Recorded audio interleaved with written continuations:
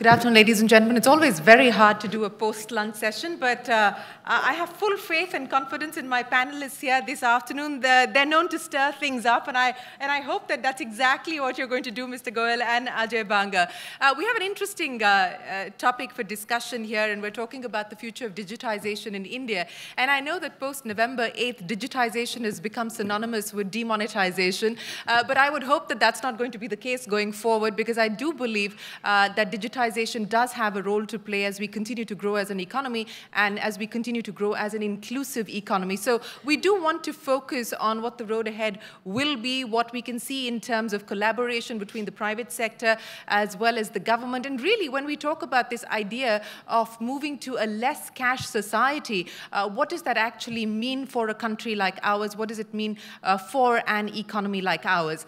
Uh, let me start by quoting to you what, uh, uh, what the chief economic advisor advisor Arvind Subramanian said in the economic survey. And I think that really sets the context uh, in a lot of ways for the discussion that we will have uh, this afternoon. Uh, Arvind Subramanian in the economic survey said, digitization is not a panacea, nor is all cash all bad. Public policy must balance benefits and costs of both forms of payments. The transition to digitization must be gradual. It must take full account of the digitally deprived, respect rather than dictate choice, and be inclusive and controlled. There are several thoughts there that Mr. Subramanian has put on the table, but let me start by asking you, uh, Minister Goyal. Uh, and I don't want to go into whether demonetization was good or bad, but if I could ask you to elaborate for us what the lessons have been from the experience post the 8th of November.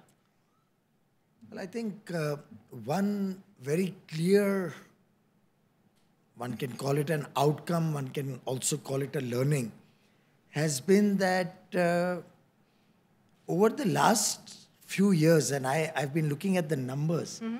this happened particularly after uh, 2005 or 6. The country just kept printing more and more currency. And uh, we actually almost encouraged cash transactions rather than banking transactions or digital transactions. So you saw a huge amount of increase in the percentage of cash to the GDP in the 10 years before 2016.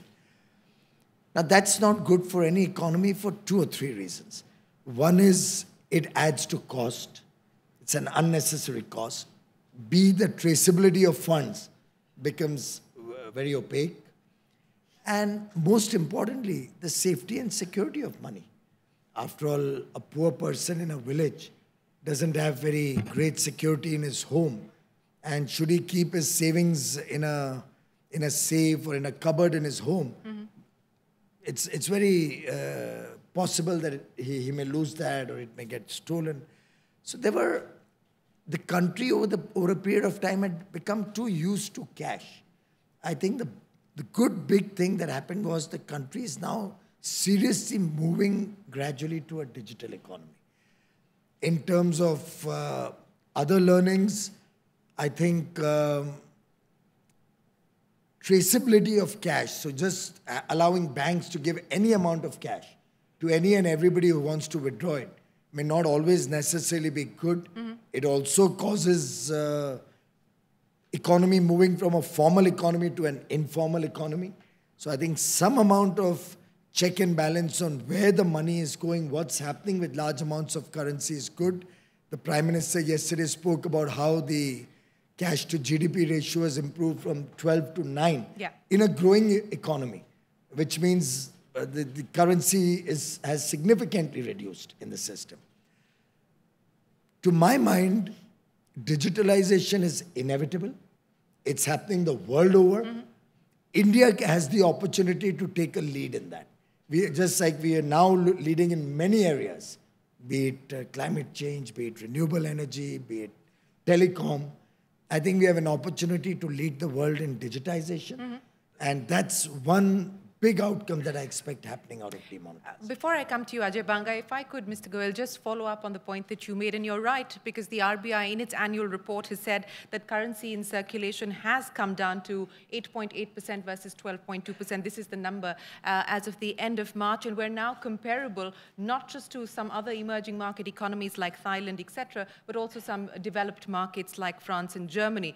So when you talk about uh, India leading the way, so to speak, when it comes to digitalization. If I could only ask you about this specific parameter, uh, cash in circulation, do you believe that where this, this is the zone that, that you find comfort in, or do you believe that we need to do much more to, in fact, bring down further the cash in circulation?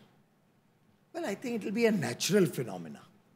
Even after the demonetization initial rush, government per se hasn't done anything to make people move towards digital transactions it's happened naturally as more and more people are recognizing that it pays to be honest, it pays to move into the formal economy and not be a part of the informal economy.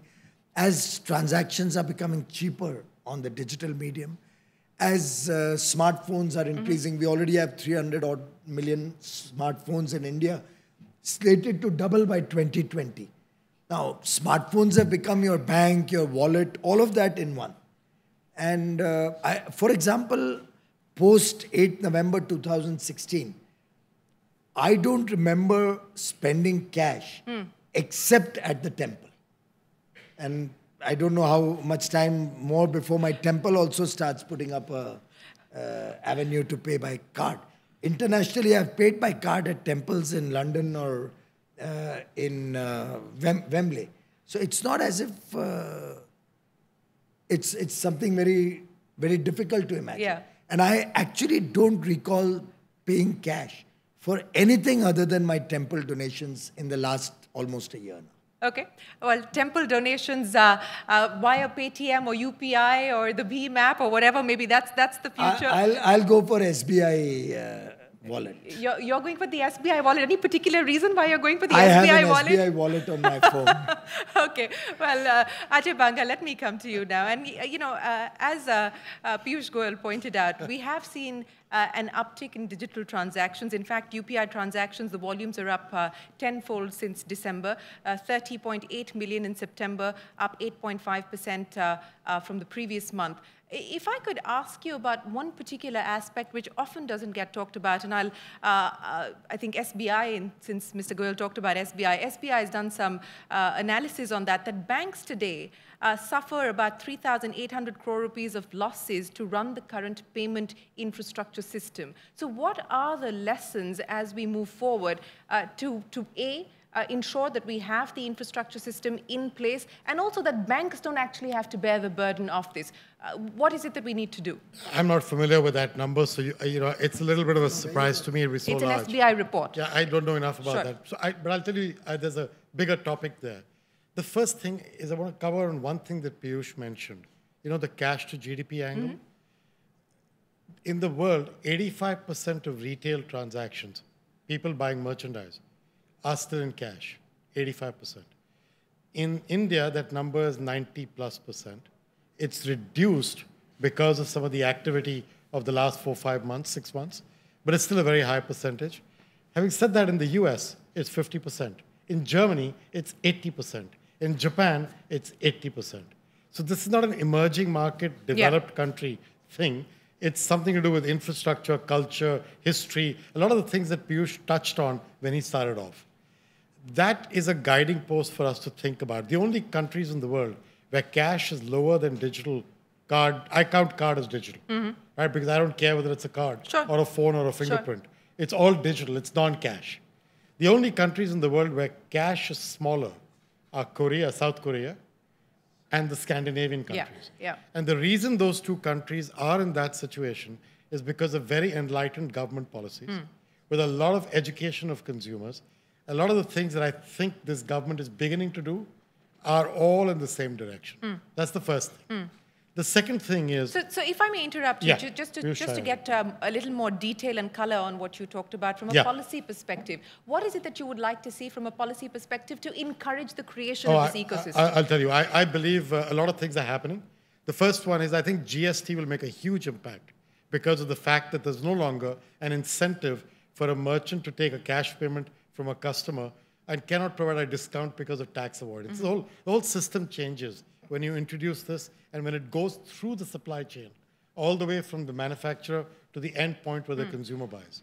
The second thing is it's really important to provide the right incentives in the system for merchants to accept electronic yeah. payments. So what Korea did, as an example, is they said, if you take electronic payments at a greater percentage than X in your number, our tax guys will come and audit you once in two years. If you don't, we'll be there every three months. Mm. Is that something that you might want to consider? Just uh, don't go there. I'm just giving you an example. Ajay, I'm, I'm not. Uh, I'm. I am happy that it got raised when post demonetization. Yeah. We were looking at all the digital modes of payment and seeing how we can encourage. That's when Ajay and his team and I had a lot of interactions. We actually studied the South Korea model. I've actually my officers studied. meaning 24 hours a day, this guy was interacting with us, including on the phone with me. I'd get off a plane and I'd get a call from Piyush saying, I need you to do the following. Thank you very much. Thank you for that. But uh, we learned a, a lot from the South Korea model. And uh, that's the advantage of having a government which is willing to, which has an open mind. Mm. Yeah. We, are, we are not necessarily saying that we have to reinvent the wheel on everything. Sure. So for example, in our tax policy, uh, Finance Minister Mr. Jaitley brought in this clause that when you have a turnover up to, I think, 2 crore yeah. rupees, if you, the amount you transact digitally, mm. the presumptive taxation rates are much mm. lower, significantly mm. lower. Instead of 8%, you, they take only 6% mm. as profit. Now, we are in our own way trying to encourage digital payments. My sense is that all of these various initiative steps will help us move the needle very rapidly. He's on the right path. He, mm. This is absolutely correct. I'll, I'll, tell you one or two small things. The railways used to charge a service charge. Mm. Uh, Post demonetization, they removed that yeah. service charge, yeah. and we saw digital transactions really shoot up. Now, the only charge that is charged is a MDR, merchant yes. discount yes. rate. I'm actually now engaged with bankers mm. to see what we can do about that MDR also. Mm. Ideally, I would like the amount a person has to pay, whether digital or cash, mm. to be the same. And this uh, talk about the State Bank uh, incurring 3,800... Not State Bank. It's a report put out by State Bank about the banks banking. have, okay. yes. Now, and, I'll, and I'll give you another perspective, yeah, yeah. Shereen. You understand banking. I've been on the board of two banks. I remember in the board we used to agitate about ATM costs, mm. the cost per transaction on the ATMs now I'm talking, and I'm becoming older by the day, I'm talking at least 10 years ago. 10 years ago, we used to calculate that cost per ATM transaction at about 45 rupees. Mm. Probably today it would be in the region of 60 yeah. or 70 rupees. Even with technological upgradation, let's say even 50 rupees. Mm. Now, what sense does it have that a person goes to an ATM, withdraws cash, and then spends? And the banks are all the time filling in the ATMs yeah. with more cash. Go to the next level that everybody has their debit cards mm. and instead of withdrawing cash, has the ability wherever he goes yeah. in a train, in a bus, in a grocery store, uh, in a movie hall, buying popcorn, anything. Mm. As the ecosystem grows, bankers will be saving tons and tons of money, far more than 3,000, 2,800 or whatever figure this report has attempted to suggest. Mm. Far more than that mm. if they promote digital transactions. And with technology, look at the BHIM app. Yeah. It's made it so simple to transact digitally that it, I personally don't think a transaction will cost positively anything more than half a rupee or a rupee. Mm. It could be a hundred million dollar transaction, it would happen for one rupee. Because ultimately, the value doesn't change the nature of the transaction. Yeah. So, so the only part I, Piyush and I have had this conversation is I believe that the merchant discount rate has a role to play. And let me explain that. I, I was hoping that you were going to come up with that. No, yes. No, he, look, we, we've got to make people wake up after lunch. So, so he and I have had this discussion. And here's my view. My view is, again, balance in this. An excessive merchant discount rate is a really bad idea because it disincents the merchant from ensuring. So what would, what, what would be an acceptable merchant discount there, there is no such, it depends on the country. I'll yeah. tell you why. What's behind a merchant discount rate? The payment infrastructure. Yeah. If you think cash is free, it's not. Just because the merchant is not paying for the cash directly, they're paying for it in many different sure. ways. from cash pilferage Mm-hmm. to the cost of going to deposit it to managing it. Yeah. And by the way, the government is paying a huge amount of money on cash management. There are independent studies available around the world that printing, securing, and distributing Yeah. cash costs the central government of a country between 0.75 and 1.5% of GDP. Mm-hmm. Okay, that's not a small number. No, it's not. Now, at no point do I think that should go to zero. Yeah. Because I'm kind of in Arvind's shoes. I think cash has a role to play, but not at 95% of an Hmm. economy. If it was 25% of the economy, we would be having a different discussion because the amount of money saved by the government on that printing, securing, and distributing cash could be put to outstanding uses Hmm. that he's probably got 30 ideas in his fertile mind. Right? That's my point. So, therefore, the question really is is zero the right number Hmm. for an MDR when cash is not zero? It's just the question of who's paying it. And that to me is not chalk and cheese, it's a real comparison. Has he been able to convince you? I know that you've No. been engaging on this issue, but has he been able to convince you so far? Because We have agreed real, to disagree. This is a real challenge. Let's let's look at it differently. Yeah. there he goes. Now, let's understand. I'll, I'll give you my own personal experience once upon a time. It's a very old uh, example that I'm sharing with you. And uh, it's an example which actually will reflect to all of us the Indian thinking. We are a very conservative society. We are conscious about waste. Every rupee we calculate when we are spending. So, if in a particular shop you get tomatoes at 20 rupees a kilo and another one at 22, the lady of the house is going to be in, attracted towards the 20 rupees store. It's not as if those 2 rupees is going to make any difference to Yeah. Mr. Rahul Yeah, Bajaj. Yeah. But he'll certainly, as a good, uh, conscientious person, want to save that 2 rupees, I think, which is how they make the billions in their company. Uh-huh. That's, that's intrinsically Indian. Yes. Well, it's intrin- intrinsically Human. business. It's It- actually intrinsically business as well. Anywhere Yeah. you go, yeah. Now, in this situation, I had once, I had gone to somebody's, uh, somebody had passed away. I was sitting there and we thought there should be some bhajans being played. So I went to buy a small radio or, or a VCR in those days. Remember hmm. there used to be VCR yes. with those cassettes? Yes. I went to buy one of those to play bhajans. At that, it's, it was an A tape recorder, you I mean? still sir? remember it A, a tape recorder, you mean? tape recorder Yeah. or something. Now the guy said it'll cost you a thousand rupees if you pay cash, and a thousand twenty if you pay by a card. I had actually taken out my card because you middle of the night you suddenly go, hmm. you're not even carrying cash and all that. Now Now, what, Piyush? I was- I was rupees- psyched out. Piyush, the 20 bucks is not because of MDR. No, he- That's because on the 1,000 bucks, he wouldn't be paying taxes. possibly I don't know. And that's my point. I, I, I, that that we are that's taking care of by formalization yeah, of the economy. so economy. I think you'll find a change. So I, I no, I'm just trying to reflect you. Yeah. Card or cash, hmm. 20 bucks. Hmm. And I actually was very unhappy about that. I still recall and imagine re- remembering something which happened 20 years ago Yeah, today yeah. at the WEF means it must have stuck a chord somewhere. Yes, clearly, clearly it has. So let me. Let pay me 20 bucks more just to pay by card Yeah.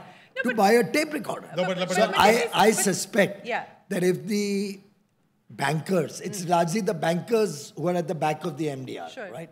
The bankers will have to reorient their business models. Hmm.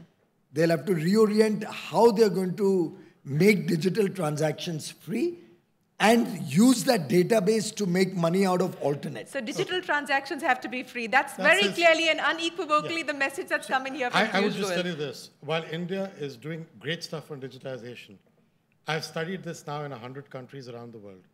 And all I'm requesting you to think through is the logic of this conversation. I think that if you disincent players to provide the latest, best, and most secure systems and ask them to make it back by using data, you might actually be creating an animal that we have to solve for five years down the road, as compared to a relevant MDR of a lower level. What do I mean by that? Today's debit card MDR in this country, for all of us, whether it's RuPay or us or Visa, is actually at one of the lowest in the world. It's at 0.25% for most transactions, mm-hmm. 0.5 for others.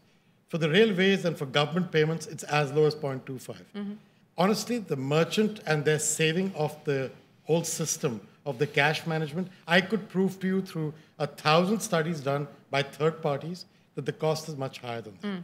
So my point of view is I actually understand Piyush's issue on the tape recorder jazz because I used to face it too.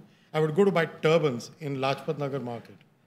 And the guy would say, sir, साढ़े पाँच सौ रुपये अगर आप cash देंगे नहीं तो ऐसा करना छः सौ रुपये चाहिए कार्ड में and I said, यार 50 rupees for an extra extra Logic kya hai? है इज सर टैक्स देने पड़ते हैं so I feel like there are two conversation going on here The right way to get at this is the Watal Committee actually mm. has created a really thoughtful. I was saying this to someone yesterday. That committee report, Piyush, is world class. And in fact, forget about India, we should be using that as an example of Indian care in developing the right system. Mm-hmm. That one will tell you as well that there is a need for an economic incentive in the place. And I think data is an interesting economic incentive. I'd just be careful of relying only on that. On that. Okay. Because No, I'll give you a simple example. I now have to look after the railway Hmm. uh, story. So IRCTC passes that merchant discount rate to the consumer. Yeah, I've been at them that you have to eliminate it. But railways has its own challenges. They need funds and they cannot Sure. increase their tariffs very easily. So in this conundrum, I'm going to be talking to bankers. Look, you have the railways account. You have accounts of all my coal companies. You're getting business from me. So you have to take a call on the business that you're getting, on the cross sales that you can do. You can, I'll allow them to sell insurance policies on my website. I'll, I'll give them an you he's economic incentive to work fertile with me. Yeah, no, and Nothing wrong- nothing n- wrong n- with that Nothing, mind. nothing wrong at Just all. Just remember all this. Yeah. In all this, And, I and I hope all the bankers are listening because this is coming next in the next two, three days. This is coming next in the next two, three days. All he's, right. So he's good. He's good with this. I will tell you one thing. Just know I don't make anything from the MDR.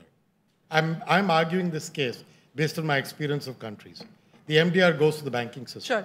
So I'm still arguing this. I'll allow them to sell their cards, credit cards through my system. Yeah, there you go. There you go. waive There, their- there, there you go. Okay, I- I'm, I'm going to hold him to that. I'm going to leave the two. I'm going to leave the two of you to sort that out once the session is over. But let me come to uh, to you on. Uh, We have on- fun like this, I, I can see that, Let- and we'll continue to have fun. But let me ask you about the issue of regulation. And I remember uh, when Kenneth Rogoff was here uh, in July, and we spoke with him about demonetization and the lessons from demonetization. Uh, he was very clear that he doesn't believe in going cashless, but what he did seem to suggest is that you should have regulation to bring down the use of cash. Now, we've seen several recommendations, whether it's the SIT saying that there should be a cap on withdrawals and so on and so forth.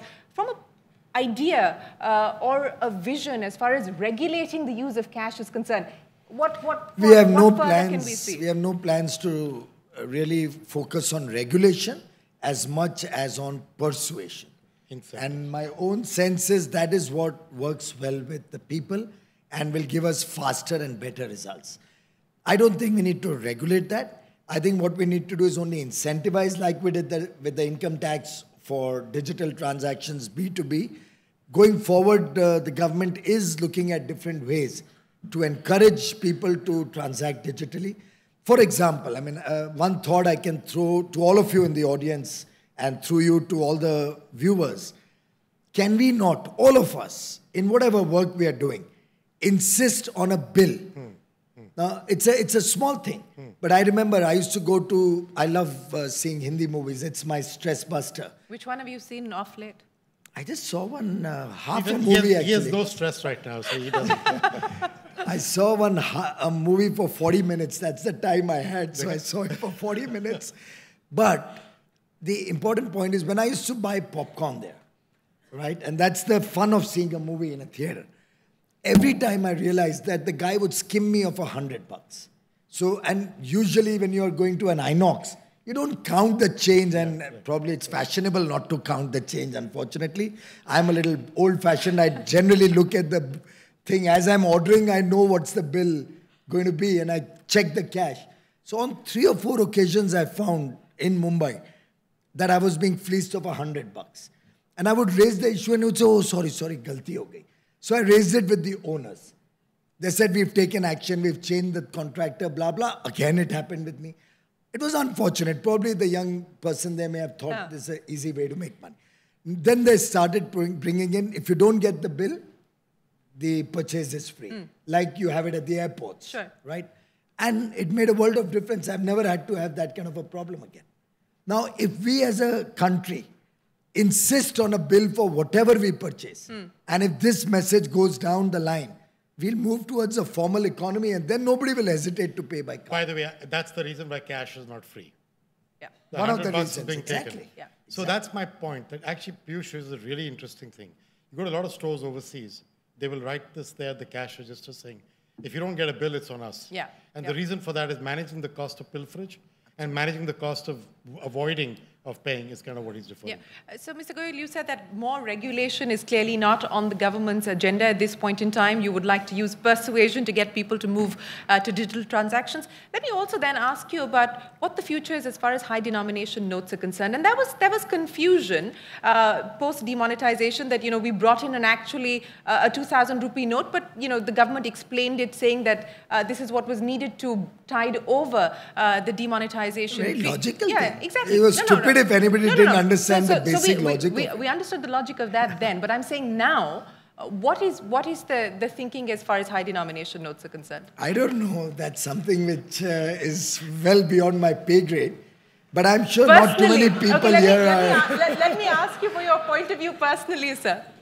I don't think many people here are carrying too many high denomination notes these days. That, that's passe. Hmm. We all use digital means to transact. More and more of the country is using digital means. Now, tell me one thing this story about high denomination Hmm. notes. How many occasions are there in any of our lives where we need to pay 5,000 or 10,000 or 20,000 rupees to somebody? It's a very rare thing. Hmm. It's maybe in a five star hotel like where we are that we may need to pay, settle a bill Hmm. if, you know, Rahul Bhai has had a big uh, Marwadi thali which is too expensive for somebody else, that you may need to pay a large amount of money, right? But, or, or if Mr. Godrej has had some nice, delicious prawns, maybe. But otherwise, where do we spend large amounts of money in any case? Hmm. So there's no need to really have very large amounts of cash or wads of cash in our pocket. Yeah, no. And again, both Adi and Rahul would pay with a MasterCard, I can assure you. Go, go ahead. Go keep keep plugging. I But can that- promise you if you look into still- their wallets, That, that still they'll, they'll also have uh, Visa and an American Express. that- let, me, let me tell you something. My competitors have words that are four-letter words. Visa and Amex are both four-letter words. You got to remember that you got to have a brand that's more than a four-letter word. That's still, that's still, you, you, you've, you've done a Pele pass on me. You haven't answered the question on, on, uh, on high denomination notes. But let me, let me talk to you about collaboration, uh, uh, Ajay. And, you know, you've just signed an MOU with the state Yes. government of Andhra Pradesh uh, Yes. today. Yes. Uh, the chief minister was here. Uh, give me a sense of when we talk about collaboration, realistically on the ground, what is your ask? What is Yeah. your expectation, Yeah. whether it's the center or the state? So I actually think that what we've done in specific with Chandrababu Naidu is we've signed uh, a collaboration on four areas. One of which somebody was referring to in our opening panel on farmer tools. So we're with with the Gates Foundation in our lab in Kenya, we had developed a very simple tool which allows farmers to engage with the marketplace without going through middlemen. They therefore get paid directly without the middleman. They can also get access to fertilizer, seed, cropping patterns, and so on. We're going to adapt that to Indian users, build it in a lab in India, and roll it out in Chandrababu Naidu state as a starting point. Okay. But my ambition is through people like him to reach the central government and look at similar ways of being constructively helpful. No, this sounds very interesting. It is I'd love good. to know It's, more. it's, I, I'll, I'll, that's one. I was just talking to Piyush about other apps when we were walking in, so he knows where my mind is going. The second one is we're going to try and create a cybersecurity conference, hmm. Which will bring together not just people from our company, but ethical hackers, security experts from overseas, and create a level of understanding and awareness to be raised hmm. on that issue here. My fear is with us going digital in Yeah, India yeah. at the speed that he and his colleagues Yeah. are doing, we need to be very conscious. You know, you've preempted my question, and I was going to ask you that, and I'll get uh, Ajay to comment on it as well. And you know, while while we debate uh, the issue around Aadhaar and so on and so forth, I'm not getting into uh, into the privacy issue as much as I'm getting into the data protection issue uh, and and the need for a robust regulatory framework, given the strides that we're making in this space. How conscious is the government of this, and how soon can we actually expect meaningful action on this front? extremely conscious of it. In fact, uh, I think the UIDAI has been very, very focused on this. Mr. Nandan Nilekani himself has uh, told me that right through the development of the Aadhaar Yeah. framework, they've been conscious about this. And it's not as if, uh, I mean, after the Pentagon gets hacked, You can't just keep picking on the Aadhaar. No, no, no. no. The, the idea is not here to, to pick on, on the Aadhaar. As I said, I'm not, I'm not getting into that issue at all. But I'm saying that there is a need for uh, a, regu- a, robust regulatory Absolutely. framework in the country as we move towards more digitization. But I think that's an evolutionary process. It keeps evolving. Mm. And as Ajay will, uh, I think, agree, that uh, you can keep adding firewalls and safety features, and there'll always be somebody who'll be one step ahead of you. So it's a continuous race. Shane, he's, he's right. Race to the I- bottom, I- possibly. I agree with him. I think this is a constant process. I actually think the Aadhaar idea was brilliant in its conception Hmm. and in its execution. Uh, my belief is that as you go forward, Yeah. as you go and implement digital identities, you've got to find a way to adapt this idea in such a way that, for example, let's assume I knew seven things that Piyush does Yeah. like watching a movie when he's stressed or stuff of that type. and I could pull those seven things together Yeah. using data that cannot by itself be useful hmm. to identify Piyush. But putting all seven things Yeah. together, I could unlock it and say, oh, this is Piyush Goyal. He's paying for his popcorn with this card, a MasterCard. Please do allow it to go through. When you do that, you cause what I, cre- what I call using Aadhaar and biometrics and the way it was built Yeah. in the best possible way. By the way, that's for today. Three years from today, Yeah. this idea will become obsolete. So I feel this is a continuously evolving space. That's why I want to do the kind of conference I'm talking about. I want people like him to say, this is a topic of today which we need to pay attention to. Hmm. We're doing a third thing with, with Chandrababu Naidu, which you'll find really interesting, which Piyush will find interesting. I haven't had a chance to tell him about this. We're going to collaborate with a couple of universities to help co-innovate ideas where we and the universities together hmm. will come up with new innovations that can be launched in India and then used elsewhere as well. To me, that is a path-breaking and cool thing to do, and I want to push it as hard as I can. You know, uh, uh, I, I know one of the cool things that you've done is to bet on India, uh, even though it's only about 3% of your revenues currently, uh, 14, And 14% of my 14% of your But it's the employees. future. Yeah, yeah, yeah. And that's why I said it's And a cool plus, I'm it's- too scared of not doing it because he'd beat me up. So I- so, so in, he'll in, call me every day when I land. ये मत बोलो राहुल भाई सोचेंगे ये सच है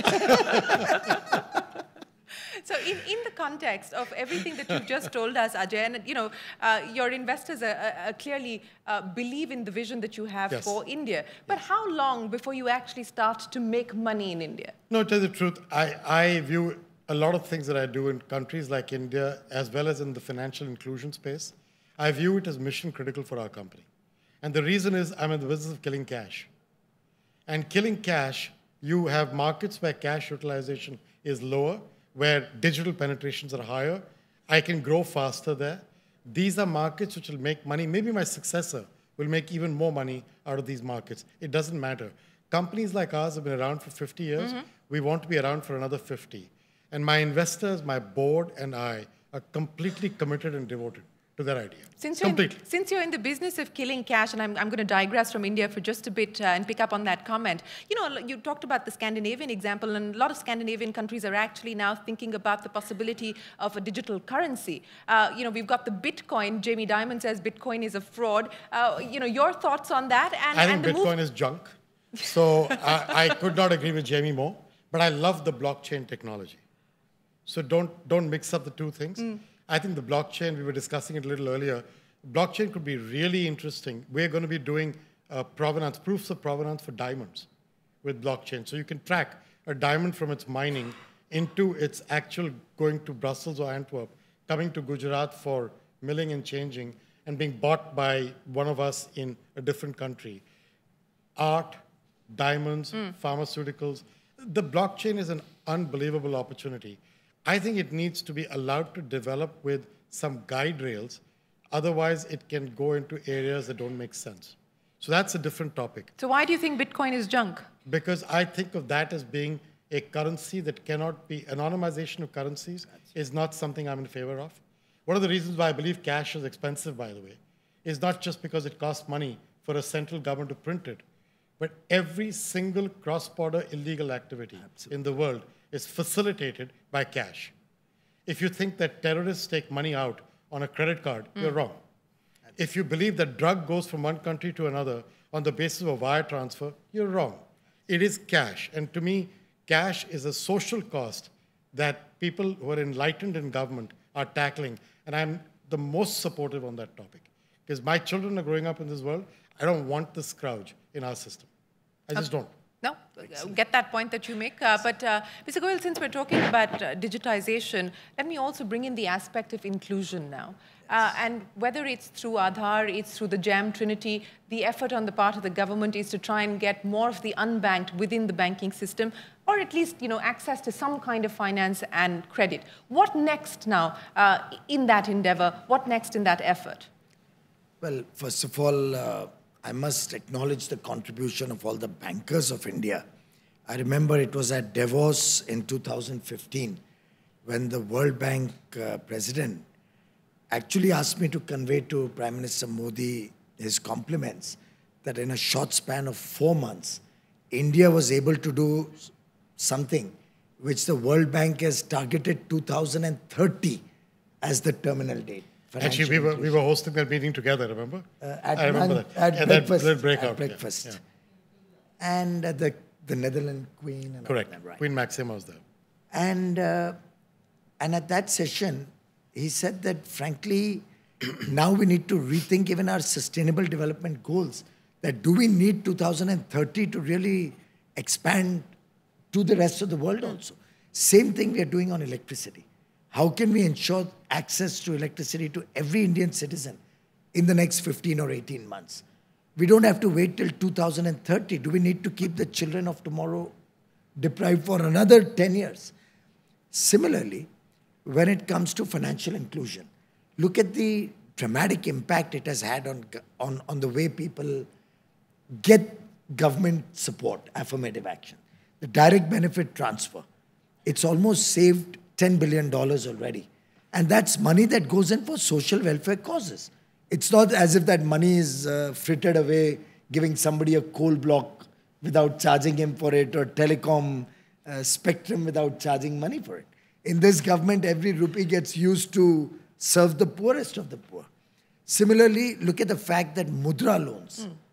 We have now nearly 90 million mudra loans, amounting to about $50 billion So more than that, 60 billion now. 60 billion US dollars given out to small entrepreneurs, making them job creators rather than job seekers, mm. helping them stand up in life, becoming self reliant. Look at the way we've been able to connect financial inclusion and Manrega. Mm. Manrega, where there was, all of us knew there was a lot of leakage. Now we can actually, with the JAM Trinity, identify the person through his Aadhaar number, there's uh, his bank account into which the payment is made directly. All middlemen are out. Mm. In fact, post demonetization, one of the set of people who most vociferously opposed were the middlemen or the leaders who used to skim a note out of the payment being made to casual labor or to labor in the Assam tea mm. gardens. They were very unhappy because if money is going to go directly to the bank, then they lose their commission or their ability to skim money out. What he said the illegal transactions. Sure. Cost of cash. Cost yeah. of cash. So I think the next steps are going to be we now have a bank account in every home. We should move that to a bank account for every individual. The connecting of the Aadhaar number with mm. the bank account. Going forward, connecting that bank account with GST and tax yeah. so that more and more people have free flow of information. The ability of that account and the transaction history uh, helping us to give loans to people in their homes, credit literally and credit and, and insurance, insurance, that's right, uh, through the financial inclusion program. So then it's a multifarious benefit that will just keep multiplying. Mm. And there are endless possibilities. I mean, you can keep discussing this till the evening and we won't be through. With what other benefits? You can give discount schemes, you can help people get connected with technology. Yeah. It just, it's endless. Uh, I, I, want to pick up on, on a comment that you just made when you talked about the DBT and the savings that the government has accrued on account of DBT, and you said that that money is not frittered away. I want to ask you, sir, about the coal cess, and this I ask you as the coal minister. Yes. The coal cess is now being used to compensate state governments for the loss of revenue on account of the GST. For a country like India, where in a state like Delhi, we're struggling to be able to breathe clean air, should realistically the coal cess have not been used to do something about improving the air that we breathe, etc., as opposed to sending that money towards compensating states for possible revenue loss? Absolutely right, Shereen. That is where this coal cess started. It was a clean environment cess to promote renewable energy. But thanks to the honest government that this country finally has, we have been able to procure solar power hmm. at one third the price that the previous government used to buy it. We have been able to bring so down. Wait. One minute, let yeah, me finish. Sure. We have been able to bring down wind power costs to one third of what was being paid four years ago. Mm. And only this morning at four o'clock, the only the second auction. wind auction yeah. brought down wind power to two rupees 64, 65 paisa. We've been able to bring down LED prices, which the Prime Minister alluded to yesterday, from 310 rupees for a 7 watt bulb to 40 rupees right. for a 9 watt bulb. Right. Now, all of this is savings, is honesty in action. Hmm. Right? And that is why now we don't need that coal cess to promote renewable energy by itself. It is below grid parity. So I think it's available resource which is being put to good use to help GST rollout. After all, in GST rollout, we're all familiar. States are very concerned. Mm. What happens if the uh, producing states lose out on revenue and the consuming states get an unfair advantage? Mm. So this was an issue because of which the previous government could not bring GST. Mm. States did not trust that government. They had not even paid the CST dues. You remember the central yes. sales tax dues? It was Mr. Jaitley who provided 12,000 crores brought in confidence. So, mm. Vishwasniyata, yeah. I often talk about yeah. trust. Yeah. That missing trust factor in government, Mr. Jaitley and Mr. Modi brought back. And thanks to that, GST is happening. Now, this money is not required for renewable energy. We are using it to another use to introduce a common uh, tax, make India one market. So, it's, it's a, I think it's a great use to that money. And I'm delighted that we are, we are probably the only nation in the world which is taxing carbon. Even the United States of America does not tax carbon. Mm. It encourages more and more use of carbon and pollutes the world and the atmosphere. In fact, just for information, the United States of America consumes more coal per capita. That's good. That's good. 150 years ago than what India consumes today. And as of now, they consume eight times the amount of coal that India consumes. Sure. In 2016 17. So that's the sensitivity and concern. Of course, there are many other things one can speak about, but it is countries like India and leaders like Mr. Modi who are truly passionate about climate change. So I can assure you what this government is doing to address this problem of pollution. I don't think any government in the past, in India certainly, and most governments in the world have taken as many proactive measures as we have done in the last three and a half years. Okay. Uh, he's, he's as passionate about this as I am about MDR. You can see that. yes, I can, I can clearly see that. Uh, so before I, before I get the audience to, to pitch in with their questions, uh, Ajay, yeah. I have one point Please. on financial inclusion. Yes. Or two, actually. One is I, I think uh, there's a real need to move the conversation from inclusion to inclusive growth. Mm. I think Piyush means that instinctively, but I believe words matter. And what, am I, what do I mean by that? Inclusion is like helping people get out of poverty yeah. by connecting. Inclusive growth is the next generation of thinking. I think India is at the stage where it can start talking like that. When you do that, companies like ours and others mm. Will see that doing well and doing good are not yeah. anti-colonial. Mutually exclusive, yes. And I feel that's a really important discussion for all of us to have outside of all the joke. Look, we are friends, we can joke, but I mean this with all seriousness. This is a really important topic. The second thing is, in the seven, eight years that I've been discussing this now as the CEO here, my company's market value has multiplied from 20 billion to 150 billion. In doing all this, I've put money into reaching 360 million people around the world to get them into inclusion mm. by giving them a method to access their identity and their social benefits through either a card or a phone. It's a phone in Egypt, it's a card in Nigeria and South Africa, and it's different instruments in Mexico. Yeah. Uh, my belief is that, that if a company like ours with partners could do it, and there are 2 billion people in the world without formal inclusion, mm-hmm. if we can get to 360 in five, six years, shame on the rest of us if we can't get to the 2 billion in another 10 years' time.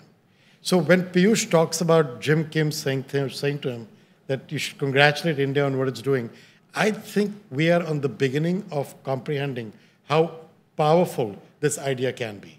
Done the right way, built the right way, with the idea of economic incentives mm-hmm. in the right place, and with one very important thing, which actually I credit Piyush for, which is to build out acceptance in merchants yeah. at the last point. We've partnered with the Confederation of All India Traders to reach as many merchants mm-hmm. as we can to educate them with a standardized QR code model, mm. which he pushed us to build and get standardized in the industry, and then get that QR code model rolled out across the world, not just in India. Sure. That I think that doesn't get talked about enough.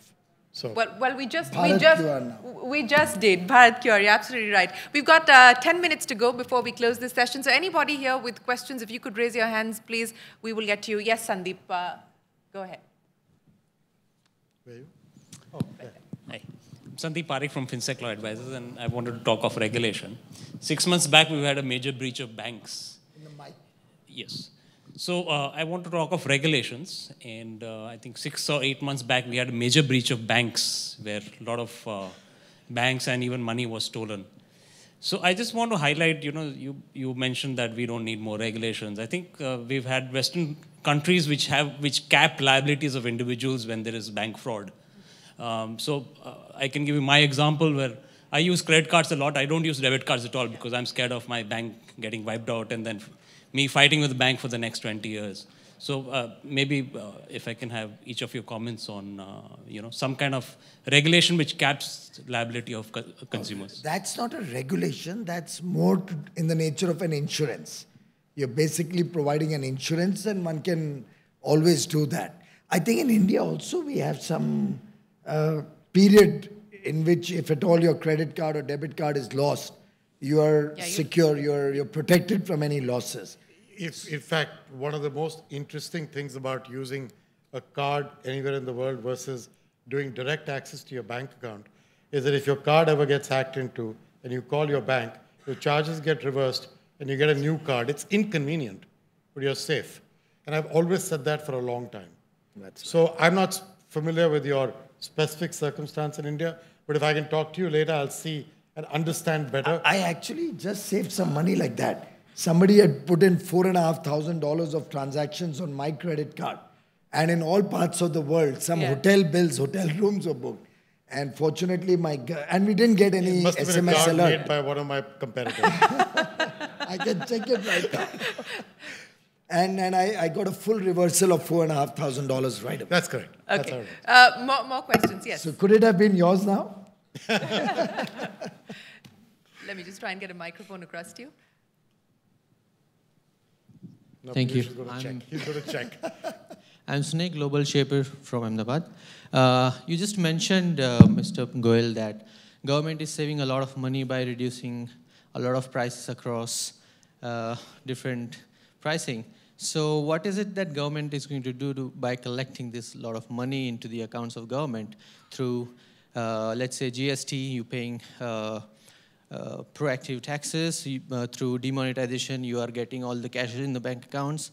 Uh, you mentioned crude oil, I guess, uh, which is not transferred to us because we're still paying 70 plus rupees for per liter of petrol. So what is it that government is going to do with a lot of money in their accounts? I'm delighted you've asked this question. no, I'm very, very happy because this is something, again, I'm, I think, quite passionate about. During the rollout of GST, I went around the country. I used to meet business persons, traders, and uh, it was in Vishakhapatnam, I think, that a person got up from the audience and he asked me, What is the incentive for me to pay taxes? In some sense, the bottom line of your question is that. And I said to him,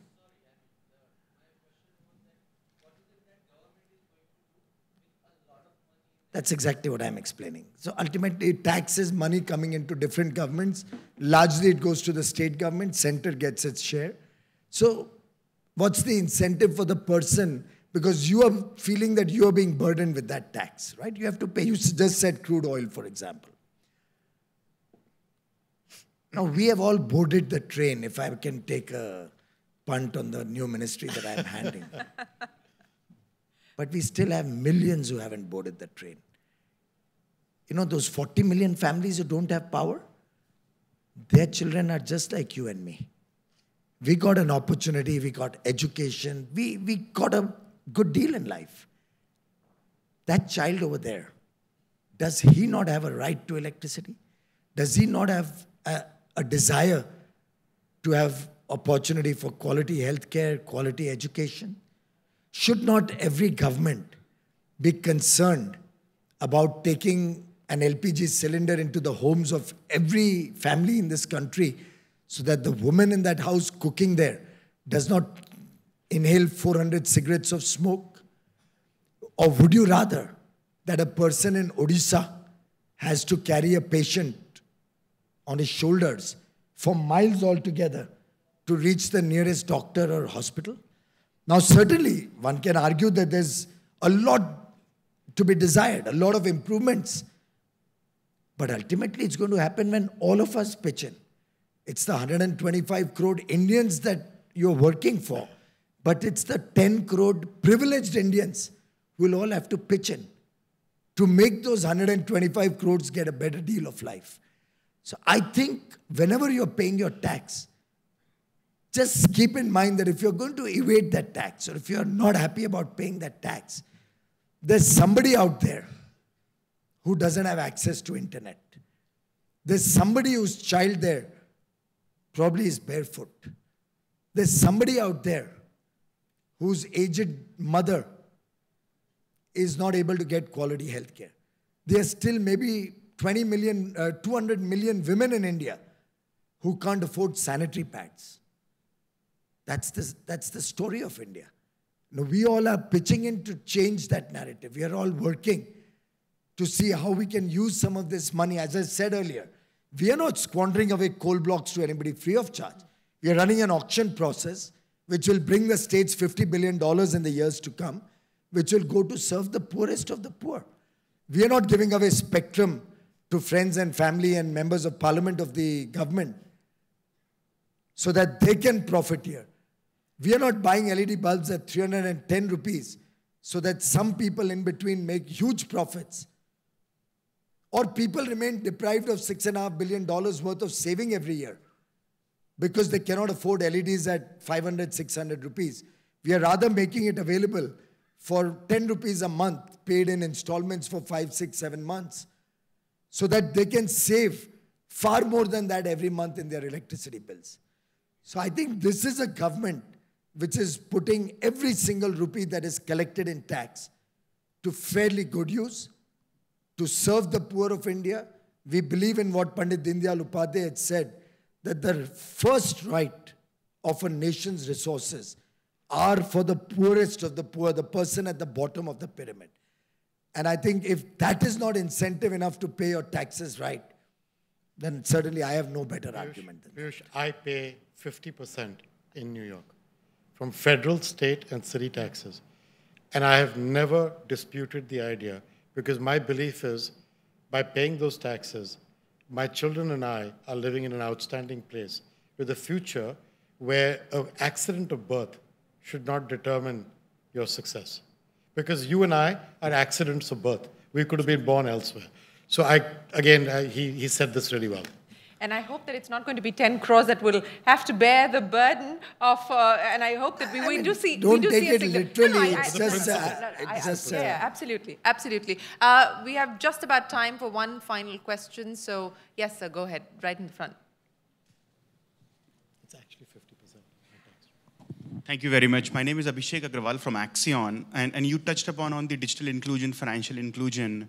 My question is to you, Mr. Goyal, in terms of what are we doing as a government to promote now the digital literacy, the financial literacy, specifically for the rural segment where, where this is now rolling forward, and what efforts are we putting on the financial institution to really make this as compulsory as they roll out, roll it out? Excellent question. Though on the second part, I personally don't believe in anything being made compulsory. My own, my basic belief is that persuasion gives you far better results than compulsion on anything. I mean, when I was sent to moral science classes in school, it was not a compulsion. You could go to church, you could go to the moral science class, you could go be a NCC cadet or whatever. You could go to a social science class. I chose to go to that moral science class, and I'm happy I did it. In fact, I sometimes regret why schools in India no more have that at least one lecture in a week trying to inculcate some value system, some ethics in our youngsters. So digital literacy or financial inclusion also in, some, in a way is something which will be more persuasion. We have about 230 odd thousand uh, common service centers run by the Ministry of IT under Mr. Ravi Shankar Prasad, which is working towards taking financial literacy and uh, educating the people in rural India particularly about different modes of transacting digitally, about banking, benefits of banking. So different wings of the government are doing that.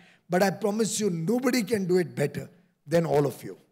Because ultimately, government has processes, government has its own limitations.